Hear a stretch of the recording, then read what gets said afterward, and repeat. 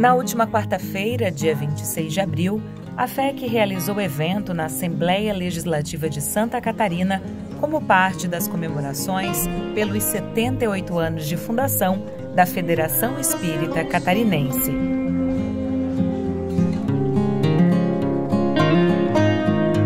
Participaram do evento lideranças espíritas e convidados, que puderam acompanhar em primeira mão o lançamento dos livros Oswaldo Melo, Uma Trajetória, de autoria de Luiz Cláudio São Tiago de Melo Altenburg, e Heroísmo da Humildade, escrito por Oswaldo Melo e então editado pela FEC.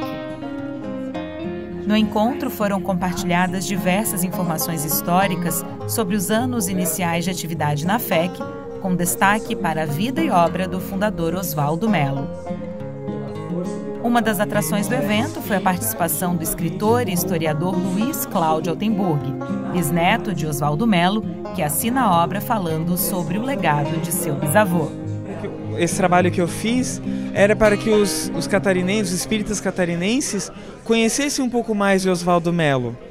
E daí eu, eu mantive o profissionalismo com mostrando os documentos, mostrando as fontes, não inventando coisas da minha cabeça, ou então um saudosismo de um bisneto, né? Que eu poderia, ah, meu bisavô, mas eu tentei, eu acredito que eu consegui ser o mais profissional possível. Mas, mas é claro que teve a emoção junto. A emoção sim, né? Isso sim. Também participaram do evento Esther Fregossi, ex-presidente da FEC, que na atual gestão atua no setor de políticas institucionais da Vice-Presidência de União e Unificação. Roberto Valmórbida, coordenador da Comissão de Resgate Histórico da FEC, e Rogério Felizbino Silva, coordenador do setor de arte da FEC, também integrante da Comissão de Resgate Histórico.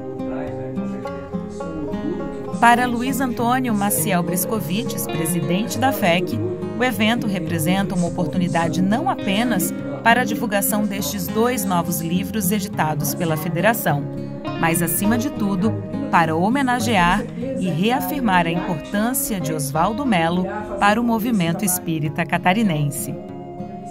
E Oswaldo Melo continua aqui no nosso lado, fazendo muitas coisas pelo movimento catarinense.